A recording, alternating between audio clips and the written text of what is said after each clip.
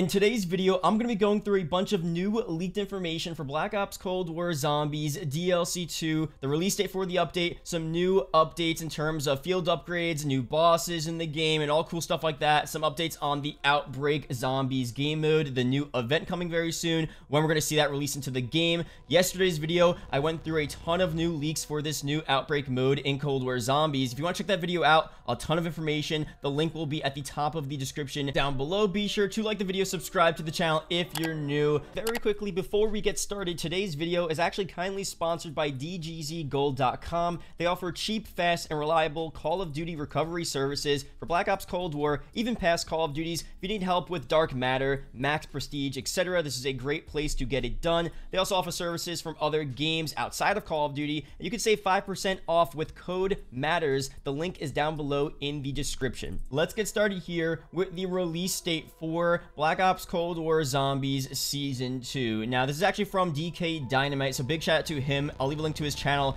down below. But apparently on the PS4 menu, if you go to Black Ops Cold War and you look at the events tab, there was a new event that was created when Firebase Z first released Thursday, February 4th, and it ends for some reason on April 2nd at 7 p.m. So why is this event here? Why is it ending on April 2nd? Is this signifying the end of Firebase Z and then the beginning of a new zombies map in this game? Is this going to be the release date for the new outbreak mode? It's a very interesting time here because it actually makes a ton of sense. This would match up almost perfectly with the release date for Firebase Z. Firebase Z released Thursday, February 4th. It was after the mid-season 1 update, but before season 1 ended. And April 2nd pretty much brings us into the middle to end portion of Season 2. That would mean that for all of the DLC maps for Cold War Zombies, they're going to be releasing towards the end of all of these seasons, which I'm fine with. I don't mind starting off the season with new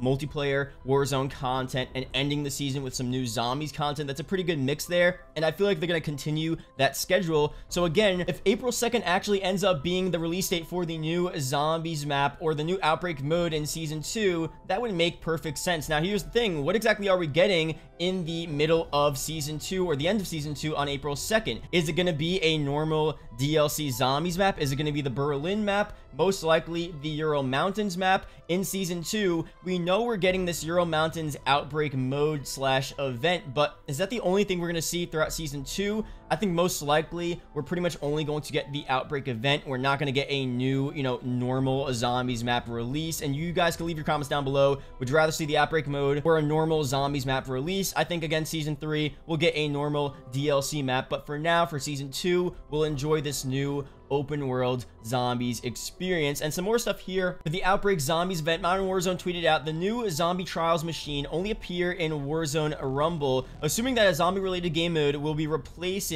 Warzone Rumble soon. They most likely needed to test some of the assets before launching it, which is why machines are continuing to appear in Verdansk. And we have another trial machine here appearing in the stadium of Verdansk in Warzone. So it's going to be super cool to see what exactly we get to do in Warzone that is relating to this new Outbreak of Zombies game mode. And again, a lot of people are saying these are just glitches here. They're definitely preparing a bunch of new teasers or maybe a specific zombie related game mode related to Outbreak in Warzone very soon. I'll be sure to update you guys as we get more and more information on this new Zombies event. And there's something else here that Modern Warzone tweeted out, which is super interesting. Lightning spotted in Warzone. A dark cloud has been spotted looming over Verdansk, and this player managed to capture a clip of lightning coming from it. So super interesting here. Again, this seems like it's relating to this new zombies playlist in Warzone that will be teasing the new Outbreak Zombies event in Black Ops War. I would assume this is for that. Maybe it is some other separate Warzone event that has to do with a thunderstorm coming through, but it seems like something we saw with Haunting of Verdansk storm clouds in the Warzone sky.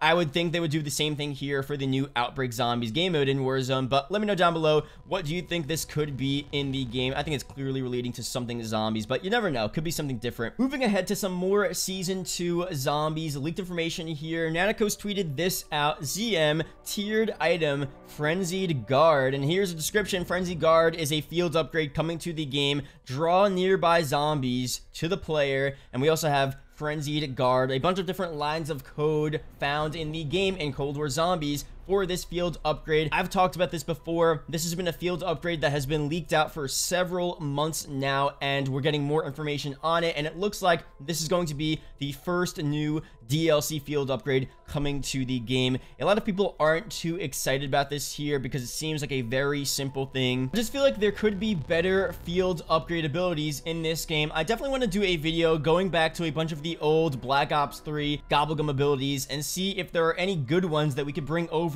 into Cold War Zombies in the form of new field upgrades and new field upgrade tiers 1, 2, and 3. And leave your comments down below. For Frenzied Guard, what do you think the tiers will be for this field upgrade as well? It seems very interesting. I don't know how you expand upon bringing zombies towards a player, but let me know down below. That seems like this is going to be the new field upgrade for Season 2. So we'll just have to see exactly how it actually works in the game. And maybe these leaks are slightly off and maybe it'll actually do something different once Treyarch officially reveals and releases this field upgrade. Nanikos also goes through a bunch of new stuff here with a new boss in the game in Zombies. Well, I thought this guy was going to be the boss. Guess I was wrong on that one. Has to be like a friendly Mangler side Easter egg or something. Definitely still more to find on Firebase Z, and he has this model here of a different type of zombie boss, kind of similar to the Russian Mangler in the game. And this reminds me of what we saw back before Black Ops Cold War Zombies first release, There were a bunch of different files in the actual game of certain bosses, certain weapons that were supposed to be in Die Maschine that ended up not being in Die Maschine. The perks were there as well. And once Die Maschine released, we all thought, you know what?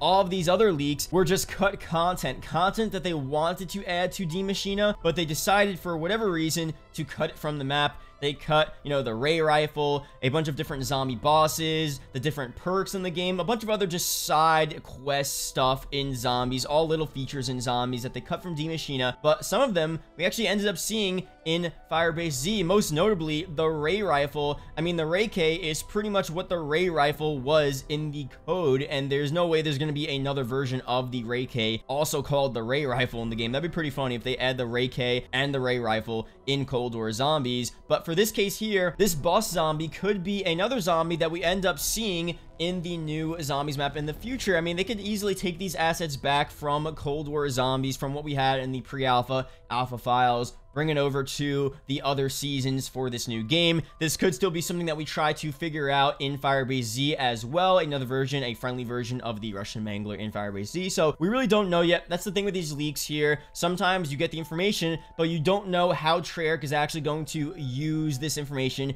and use the assets that people find. People leak stuff out out. They find assets for all different stuff. I mean, there are leaks in Black Ops Cold War containing assets from Black Ops 4, Extinction, like just crazy stuff. And we just don't know how Treyarch is using these assets. That's always the main unknown factor about this stuff here. But it's definitely really cool to see the stuff that Treyarch has in the code and what we may see in the future. We talked about before the Panzer Soldat with jetpacks attached to them, like all crazy stuff in the code that we may very well see in some type of way in future Cold War Zombies DLC map. So that's pretty much it for this video. Thank you guys for watching. If you want me to talk more about Season 2 Zombies, what we're going to be seeing, any theories you guys have, any ideas, leave those comments down below. Leave a comment down below Season 2 or DLC 2. If you watch the entire video, is greatly, greatly appreciated. Shout out to the YouTube channel members as always. And I'll see you guys in the next video or live stream. Peace out, guys.